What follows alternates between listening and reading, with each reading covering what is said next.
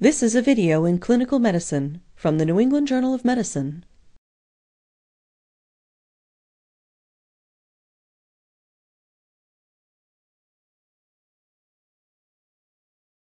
Providing positive pressure ventilation with a face mask and a bag valve device can be a life-saving maneuver. Although seemingly simple, the technique requires an understanding of the airway anatomy, the equipment, and the indications. Developing manual skills is necessary to provide adequate face mask ventilation. While endotracheal intubation is frequently the definitive airway management approach for patients in respiratory failure, it is not always feasible. In these circumstances, ventilating a patient with a face mask can be an invaluable temporizing measure. The purpose of this video is to demonstrate the equipment and technique used to provide positive pressure ventilation with a face mask and a bag valve device. Face mask ventilation is used in patients with respiratory failure but who are still spontaneously breathing and patients with complete apnea. Face mask ventilation can be indicated after the induction of general anesthesia, the administration of neuromuscular blocking agents, narcotic overdose, cerebrovascular accidents, cardiopulmonary resuscitation, and other situations in which spontaneous breathing is failing or completely ceases. Face mask ventilation is rarely contraindicated in patients with respiratory failure or cardiopulmonary arrest. However, caution is advised in patients with severe facial trauma and open eye injuries. In addition, foreign materials such as gastric contents and blood in the airway may lead to fatal aspiration pneumonitis. In those circumstances, alternative approaches, including immediate endotracheal intubation or tracheotomy, may be necessary. There are many types of face masks, varying in design, size, and construction materials. Transparent masks are preferred because they allow for inspection of lip color, condensation, secretions, and vomitus. Face masks consist of three parts, the rim, the body, and the connector. The rim of the mask provides the seal with the face. Many masks have an inflatable cushioned rim, which creates a better seal with facial contours. Some masks have a malleable body, which can be molded to the face, thus reducing dead space. Masks equipped with a ring with hooks can be used with a mask strap to better hold the mask on the face, but may prevent rapid removal of the mask, for example, when suctioning the oral cavity is necessary. The connector of the mask is a standardized 22 millimeter diameter orifice and connects the mask to a bag valve device. To maintain a good seal, it is imperative for the mask size and shape to conform to the facial anatomy. This is particularly important in the pediatric population. Thus, several mask shapes and sizes should be readily available. There are a variety of bag valve designs available. All have a self-inflating bag and a non-rebreathing unidirectional valve. The valve is designed to function during both spontaneous and manually controlled ventilation. Because bag valve devices can operate without an oxygen source, it is important to ascertain that supplemental oxygen is flowing through the bag valve device when indicated and available. Bag valve devices can be equipped with an oxygen reservoir of varying design. If the reservoir bag fills, oxygen is flowing. Oxygen flow through bag valve devices with a tube reservoir can be confirmed by listening to the sound of gas flowing. The purpose of these reservoirs is to maximize the delivered oxygen concentration. A bag valve device's capability for delivering positive pressure ventilation should be tested before use. This can be achieved by sealing the bag valve device connector with the thumb and squeezing the bag with reasonable force. If it is difficult to compress the bag, or if air is forced between the connector and the thumb, positive pressure can be delivered.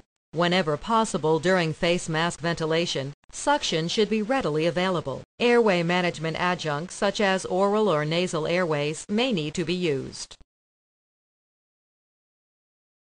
Before beginning face mask ventilation, it is prudent to examine the patient's oral cavity when possible. Smaller dental prosthesis or other foreign bodies can be swallowed or aspirated. One may consider leaving full dentures in place to provide a better mask seal. The most common method to hold the mask consists of placing the thumb and index finger on the body of the mask while the other fingers pull the jaw forward and extend the head. The middle and ring finger are placed on the ridge of the mandible, and the fifth finger is placed behind the angle of the mandible.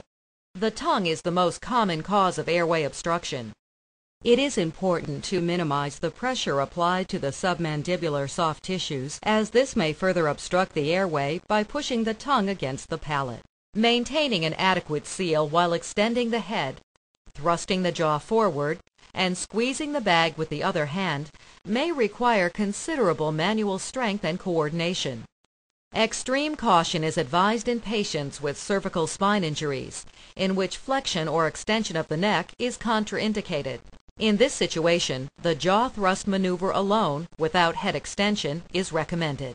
It may be difficult or impossible to maintain an adequate seal using only one hand. This challenge can occur in obese or edentulous patients, or in those with abundant facial hair. Additionally, large patients may present a challenge for individuals with small hands or with insufficient manual strength or dexterity. In these situations, the mask can be held with two hands, with each hand positioned as described in the one-hand technique. A second person compresses the bag valve device. Regardless of the technique used to ventilate the patient with a face mask, adequate ventilation can be assessed by inspecting and auscultating the chest and abdomen. The chest rising and falling and breath sound synchronous with the delivered tidal volume suggest adequate ventilation. Gurgling epigastric sounds and tympanic abdominal distension indicate gastric insufflation and poor ventilation. Other monitoring tools such as pulse oximeter and a carbon dioxide detector can be very valuable.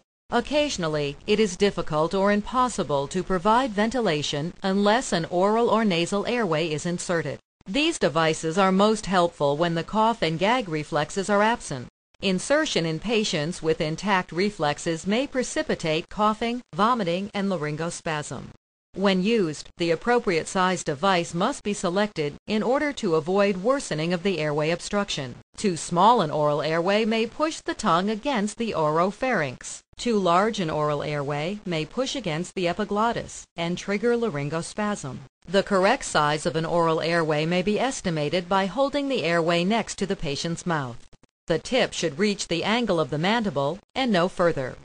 An oropharyngeal airway can be inserted by depressing the tongue with a tongue blade and advancing the airway towards the base of the tongue. Alternatively, the airway can be inserted upside down and then rotated 180 degrees as it is being advanced posteriorly.